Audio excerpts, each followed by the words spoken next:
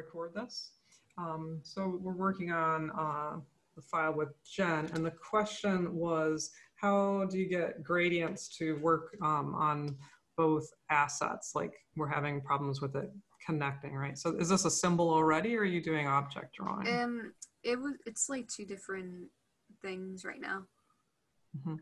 So what this shows me is that this is a drawing object and, Yeah. and I would like us to stay away from object drawing because it kind of has us like click in too many times and it's not really a symbol. So I'll show you how to um, get around that. If you hit command or control B, it will break it apart. Um, the break apart is, um, and, and I can see now this is an object too. So Mhm. this is why you weren't able to um, get the gradient to run through all of them. I'm on a PC, so I'll hit Control B. On a Mac, you would hit Command B.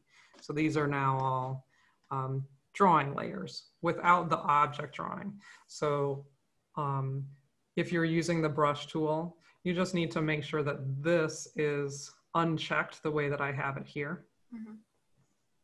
When you're doing that. Okay, so um, um, otherwise you just hit Command B, which is not a problem. So I'm going to select both of these. And um, then I'm going to, um, so these are, did you draw them multiple times or did you duplicate them or they're not Um, symbols, right? I swear I duplicate them. They look a little different apart. Um, Mhm. I think I was messing with the vertices Yeah. afterwards. So my recommendation actually is to um, turn these, uh, turn this into a symbol so that when we when we alter one, we can alter the next one. right. So I'm going to just okay. do this with you right now, um, just by deleting these, and um, you have your own file. So uh, so basically this and this, I'm going to shift click through it and then modify convert to symbol. There it is. And what are you calling these, Jen? I'll just call it acrylic circle. circle.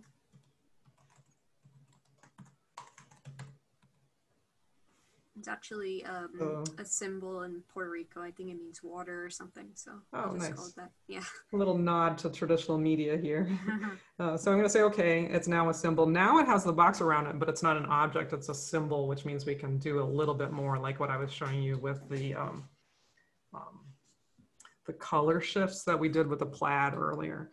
So um, now if I go to my library, I can bring that acrylic symbol. It, it looks like you have, you have this layer two. I'm going to call it uh, background. It's water, right? That's what you Mhm. have it. Um, and go to my library, bring in one here, and then I, I can also just hold down Alt or Option on a Mac and get them to duplicate. Um, hit Q is the shortcut for spinning them, which is looks like Ah. what you kind of did before, right? Yeah. And get them to not feel like they're exactly the same. And you can also do warping and shifting, like like do that kind of thing Sweet. too, so that they feel different. Yeah, this is much better because I did Control T and it showed up like a very little tab for transformations. I got so used to that shortcut, but I didn't know about Q. That's in Photoshop, right? So Control or Command T in Mhm. Photoshop gives you free transform tool. It's the same name here, but it's Q is the shortcut. okay. Mhm. All right, so now when I add a gradient to this, it will add it to all of those, which is pretty cool. Um, and there is a demo on the site that, that shows that with um, my Inuit character too, but I'll um, review this here. Uh, so we're not in it yet, so I'm gonna double click into it. Now you see that I'm inside of this um, symbol by going into acrylic circle.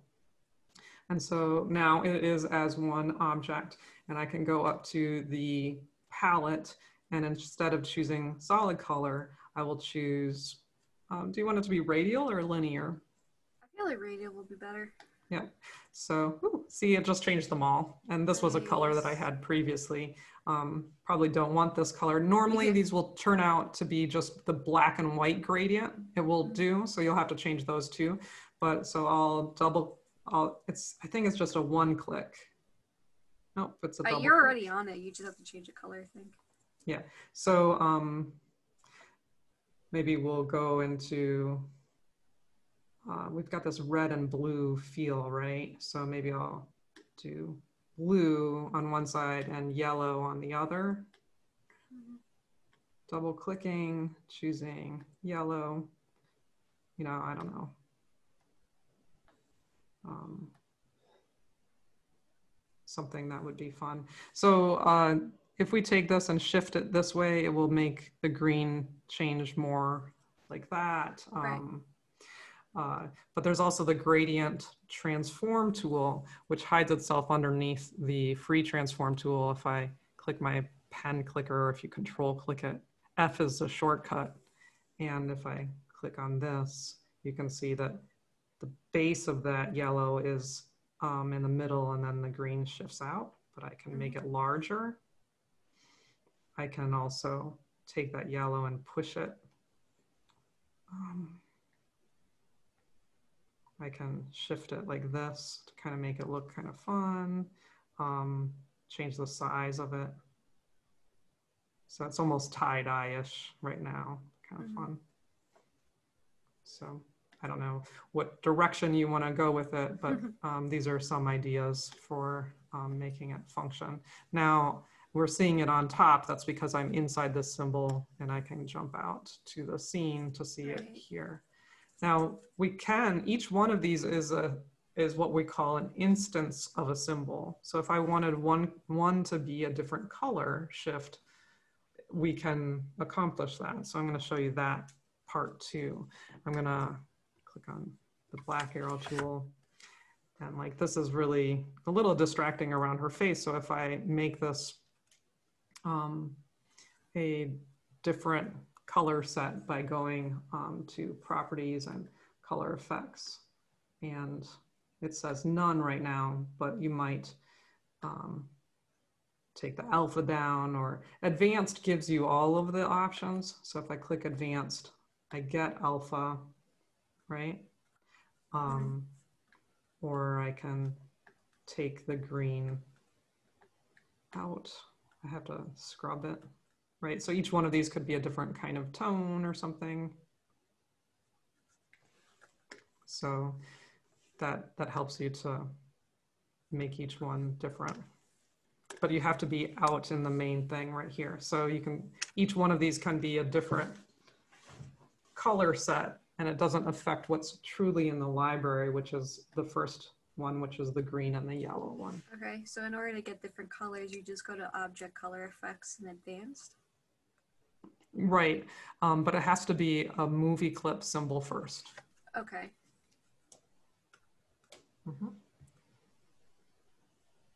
Yeah, um, I see that you have like, this is like a gray background. Uh, the style is to keep it white. So that's Yeah, just, I just did that to in order to see the white in the the um, dress because I was trying to um, paint it and I see like the off grays in the bottom ruffles right there. So it's just Oh, right, right. now. yeah, it may be that you, you might want to actually go, because it will be white, you might want to have it be kind of like, like off grays or Off playing, Okay. playing back and forth between white and gray so that it will start to pop out, especially since you have white next to what would be white here. Mhm. So, or maybe you'll want another red layer underneath it or Yeah. something. And also, it was an accident of changing the stage color, but it did help a little bit. But I don't know how to change it back to white. Oh, change, change the stage color, right. So if we go to modify document, it should be in here. All right. Yeah, I, I pressed Oh. something and it was on the right, and it said, I thought it, it's the fill color or something, but it turned out to be stage instead. So I don't know what I. Yeah, it's not actually in here. I'm gonna cancel this and um, stage color.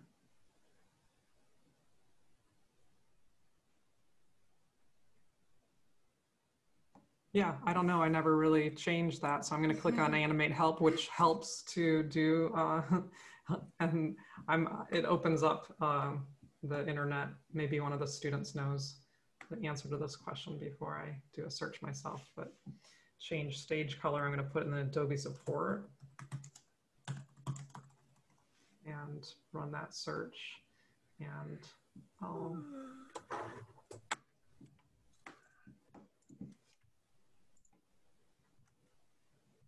um, share this screen, which has the direct answer. So the Adobe support is, is really fantastic. Um, use Stage and Tools panel for Animate. So um,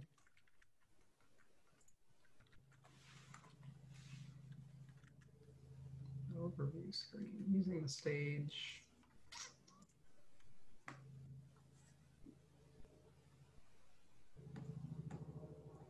Pasteboard. It's called pasteboard color. Yeah, that's yes, what I, I saw, but I couldn't find Yeah. it. So it's under properties. Um, let me try to share, animate one more time. Um, so properties, I'm gonna um, click here, document settings. Hmm, interesting. I think we have to be on the scene, but Oh, right. So this, this is, this is unchecked stage. Oh, here we go. White. Oh, oh, Okay. okay. So you may have like, uh, what, you, you may have accidentally like chosen a color, right? yeah. Um, and put it into there. Um, helpful for other projects, but, um, we're, we're using white for our cards. Okay. Yeah, Let's try to- good to know. So it's in Okay. published settings. Uh, Um, well, oh, I see the stage. document settings. All right, I, I switched little- it back just now. I found it was it Mhm. was blended right into the um. Yeah, that, I was seeing it blend into because it was gray for us. Yeah, so it was actually transparent. I think is what that gray what was pot- potentially. So, yeah. All right.